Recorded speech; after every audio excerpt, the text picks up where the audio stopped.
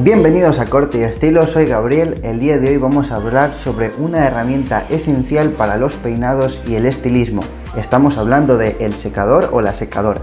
Vamos a darle una revisión general y también a mencionar algunos datos que necesitamos saber sobre este aparato. Comencemos. No estaría mal decir que los secadores son los reyes de nuestro peinado. En este caso podemos encontrar secadores de todo tipo, desde los más pequeños de viaje a secadores profesionales de mucha potencia. Por esa razón, ¿qué debemos tener en cuenta a la hora de elegir o comprar un secador? Pues debemos tener en cuenta al menos dos cosas, la potencia del secador y el tamaño. Y también en este vídeo vamos a hablar de los accesorios y las partes de un secador. La potencia es la capacidad del secador para producir aire y calor. Es una de las principales cosas que tienes que valorar a la hora de elegir uno. Podemos encontrar secadores aproximadamente entre los 1000 y los 2500 vatios. En general es mejor elegir un secador que ofrezca bastante potencia porque así secará más rápido el cabello. Si lo queremos usar para algo diario o personal podemos escoger una potencia menor. Sin embargo, además de ser potente, tiene que tener controles para seleccionar adecuadamente el nivel de calor y el flujo del aire. Normalmente los secadores tienen como mínimo dos niveles de calor y dos de flujo de aire. Por esa razón podemos elegir la potencia mínima del secador para un secado general o diario y una más alta la potencia máxima para poder elaborar peinados. También hay que decir que a la larga los secadores más potentes son los que duran más, porque están fabricados para que resistan, para que aguanten mucho calor durante un periodo de tiempo más largo. Además, los secadores son dispositivos que consumen mucha electricidad en poco tiempo, así que este también es un factor que debemos tener en cuenta. Por esa razón, por norma general, cuando nosotros vayamos a secar o peinar un cabello tenemos que hacerlo con aire caliente. Sin embargo, el aire caliente no es nuestro único aliado, el aire frío también cuenta. Por esa razón, en la mayoría de secadores actuales se encuentra un botón de chorro de aire frío que por un lado marca el peinado que estamos haciendo y además enfría nuestro cabello para que no retenga mucho tiempo el calor. Esto quiere decir que cuando estamos trabajando con el cepillo una mecha con aire caliente, debemos darle el toque final pulsando el botón de aire frío para que en este caso se marque lo que estamos haciendo.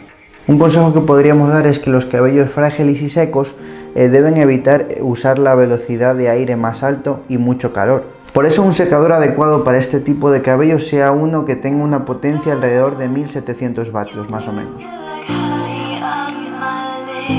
Bueno, hay muchísimos tipos de secadores. Están los secadores de viaje, están los secadores domésticos y luego hay secadores profesionales que son bastante grandes y pesados. Normalmente el tamaño suele estar relacionado con la potencia y a la vez cuanto más potente sea, más grande, lo que quiere decir que pesa más. Esto es un factor que debemos tener en cuenta porque si usamos un secador para crear peinados, para trabajar durante bastantes horas, tarde o temprano nos vamos a sentir cansados de tener que estar secando a pulso con el secador. Por esa razón, si estás cansado o cansada de usar un secador grande, pues estaría bien que te compres uno más compacto y que a la vez tenga potencia para poder seguir trabajando a un nivel alto. De hecho, algo que aconseja muchas peluqueras, entre ellas mi madre, es que los secadores más compactos es mejor dejárselos a las chicas y los más pesados a los hombres.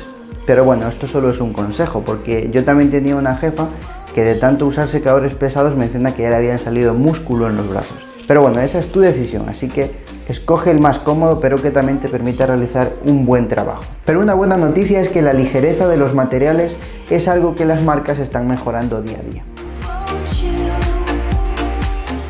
Un secador suele venir con dos boquillas. El objetivo de las boquillas es darle más precisión al peinado. Además concentra el aire caliente para que lo reciba de lleno la mecha que estamos peinando. Una boquilla más estrecha pues ofrece más precisión. También tenemos el difusor, esto ayuda a potenciar el volumen y el rizo.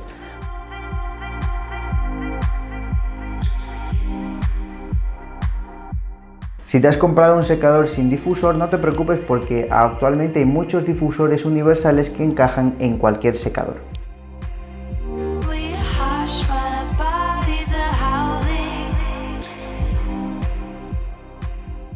Podríamos decir que hay dos formas básicas de usar el secador. Peinar o secar con boquilla y cepillo o peinar y secar sin boquilla y las manos. Si este vídeo llega a 3000 likes, en el próximo vídeo de la sección técnicas hablaremos sobre esto para secar y crear peinados. Así que deja tu like para que este vídeo esté cuanto antes en nuestro canal. Cuando el vídeo esté listo lo encontrarás en la parte final, durante los últimos 20 segundos. O si no, activa la campana de notificaciones para que te avise cuando está listo. Muy bien, cortestilistas, pues hasta aquí el vídeo de esta semana.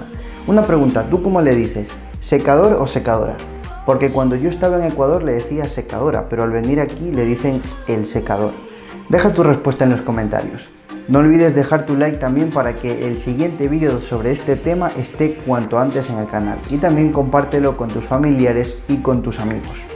Nos vemos la próxima semana en un nuevo vídeo de corte y estilo. ¡Chao!